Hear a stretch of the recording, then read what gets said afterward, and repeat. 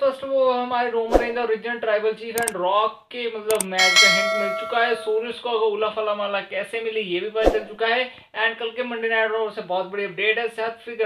की फ्यूड कैसे चलने वाली उससे भी बहुत बड़ी अपडेट आई है। तो गाइस वीडियो को लास्ट तक देना एंड चैनल को सब्सक्राइब करना ताकि आप कोई भी अपडेट मेरे चैनल पे मिस ना कर सको।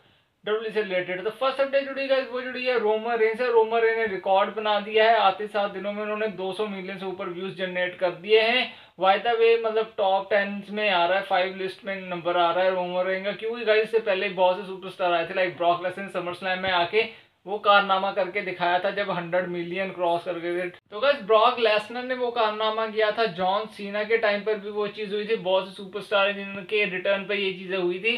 लेकिन अब रोमर रे ने सभी रिकॉर्ड तोड़ दिए हैं। राइट नाउ रोमर रे ने व्यूज़ जनरेट किए हैं सोशल मीडिया पे एंड प्रॉफिट तो आपको पता जनरेट करके देंगे रोमर रे एंड स्मैकडाउन पे भी आए थे। एंड ओवरऑल जिन्होंने व्यूज़ जनरेट किए, जो मार्जिन क्रिएट किया है, वो बहुत बड़ा है। एंड रोमर रेंज की हाइप बहुत ज़्यादा है।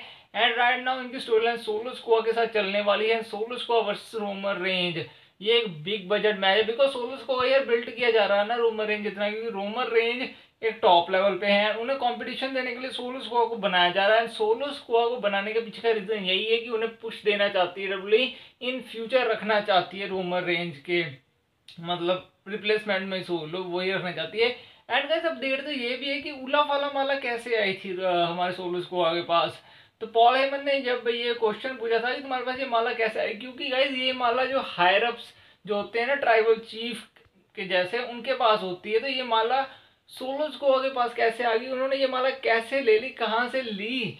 तो गाइस सोलोज को अगर जब ये क्वेश्चन पूछते हैं, जब अटैक हुआ था पॉल हेमन पे तो गाइस ये सीधा हिंट है कि ये माला जो उन्हें दी है, वो रॉक दे सकते हैं रॉक हो सकते हैं, जिन्होंने ये माला दी होगी सोलोज को।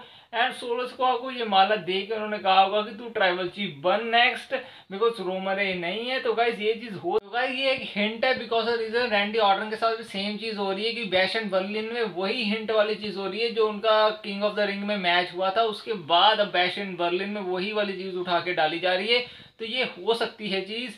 कि डब्ल्यू इस चीज़ को इम्प्लीमेंट करे एंड आगे जाके आपको रॉक या रोमन का मैच देखने को मिल सकता है। By the way first of all Cody Rhodes भी हैं इस लिस्ट में क्योंकि कोडी रोड्स के साथ उनका चैंपियनशिप मैच होना है, क्योंकि उन्होंने ये चीज़ कही थी कि जब मैं आऊँगा तो तुझे चैलेंज करूँगा एंड कोडी रोड्स को चैलेंज करेंगे रॉक हमारे।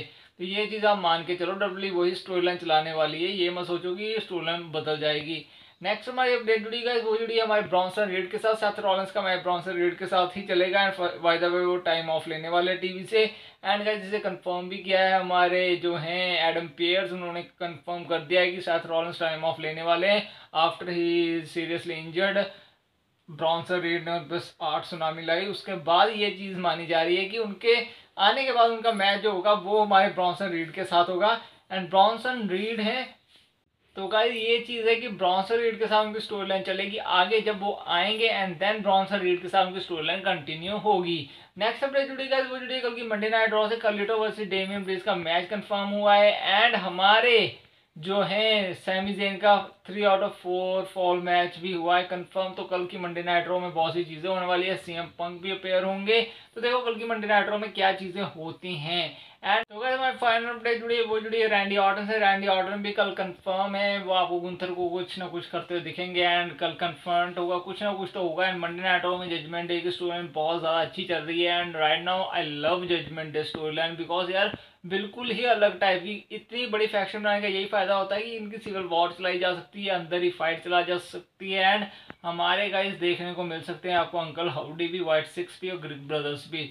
तो कल के मंडे नाइट रॉ को भी देखना एंड गाइस मेरे चैनल को सब्सक्राइब कर लेना एंड कल मैं मंडे नाइट रॉ का रिव्यू भी पोस्ट करूँगा तो उसे भी वॉच कर लेना एंड अगर वीडियो अच्छी लगी अपडेट अच्छी लगी तो मेरे चैनल को सब्सक्राइब करना। Thank you so much